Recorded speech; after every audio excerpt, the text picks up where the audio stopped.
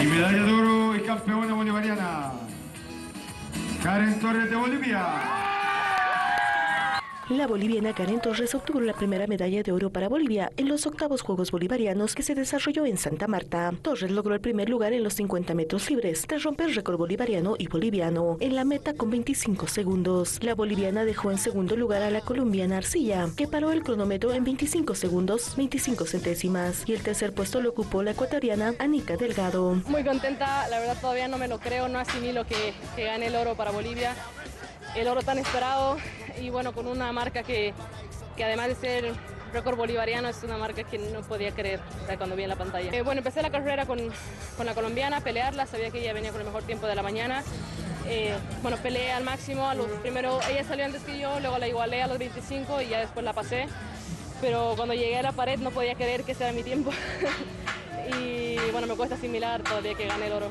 Sí, sí, la verdad muy contenta, vi la reacción de todos ustedes, eh, vi la pantalla, no podía creer, récord bolivariano, estoy muy, muy, feliz. Sí, bueno, tenía la, medalla en la, mente, eh, entré con la idea de pelear la medalla de oro y muy, muy contenta por darle la primera medalla al país.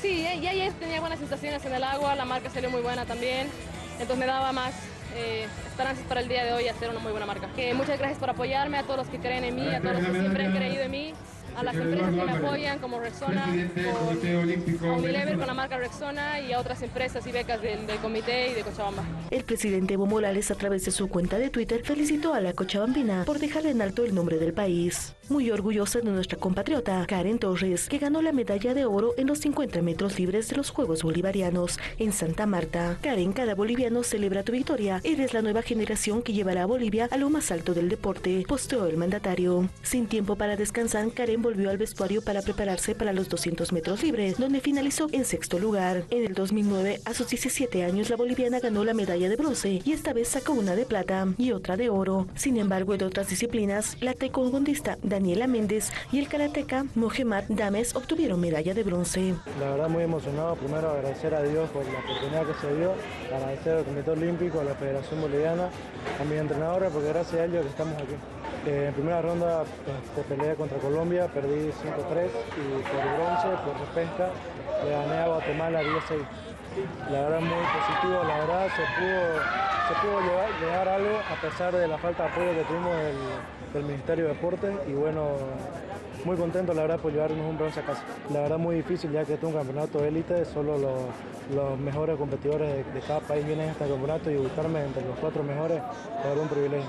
En lo personal muy contento, agradecido, agradecido con Dios prácticamente por darme esta oportunidad.